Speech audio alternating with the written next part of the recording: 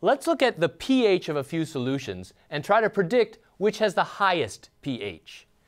So I'll have 10 to the minus 3 molar NaOH that totally dissociates into Na ions and OH minus ions. 10 to the minus 6 molar HCl, a strong acid, breaks up totally into the H3O plus and Cl minus, and 10 to the minus 12th molar HCl. So these are concentrations of strong bases, NaOH completely dissociates, and strong acids, HCl, completely dissociates. So you won't find a Ka or a Kb for sodium hydroxide or HCl because they're essentially infinite. The reactions go very strongly towards complete dissociation. So consider these three solutions and see if you can determine which has the highest pH.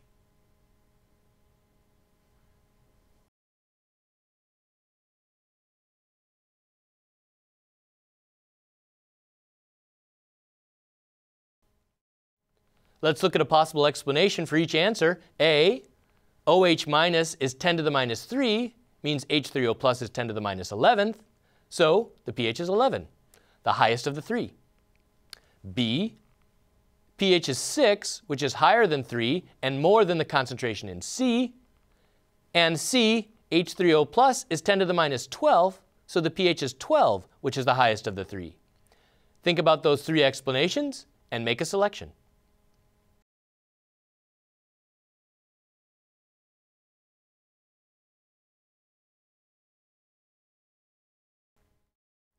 We're looking at three solutions and trying to determine which has the highest pH. So let's look at each in turn. Here's sodium hydroxide, a strong base. It completely dissociates into Na and OH minus. So Na plus ions, OH minus ions will both be in 10 to the minus 3 molar concentration.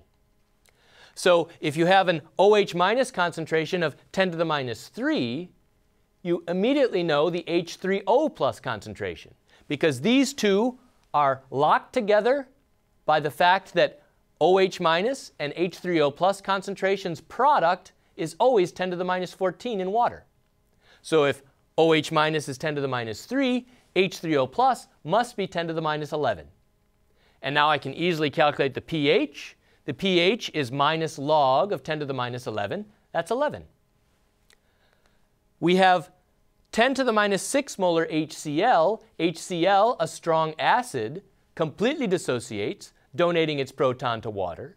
So I'll form 10 to the minus 6 molar H3O plus. 10 to the minus 6 molar H3O plus gives me a pH of 6. 10 to the minus 12 molar HCl, very dilute HCl. Again, that'll totally dissociate, and I'll have an H3O plus minus uh, H3O plus concentration of 10 to the minus 12th from the HCl that I add. But here's where you must be careful. In water by itself, the concentration of H3O plus in neutral water is 10 to the minus 7. So if you have water and the H3O plus concentration is 10 to the minus 7, and you add this tiny amount of HCl, that adds a very small just 10 to the fifth less than is already there. So you barely change the pH of the pure water by adding this HCl.